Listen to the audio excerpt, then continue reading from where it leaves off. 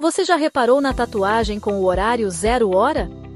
Mais do que um simples número, ela carrega um universo de significados intrigantes. Nesse vídeo vamos desvendar os mistérios por trás dessa marca no tempo.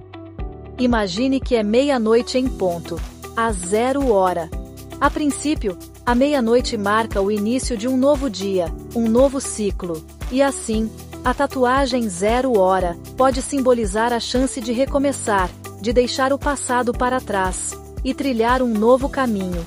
É como uma página em branco, esperando para ser escrita.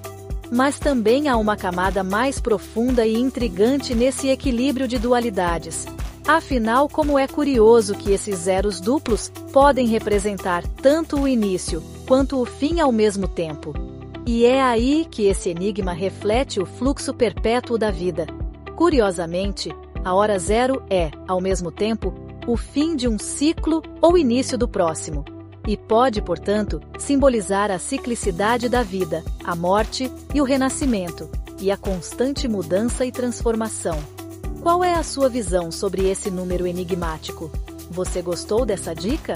Quer conhecer mais significados de tatuagens? Então inscreva-se para mais histórias intrigantes e deixe um comentário com suas opiniões ou perguntas.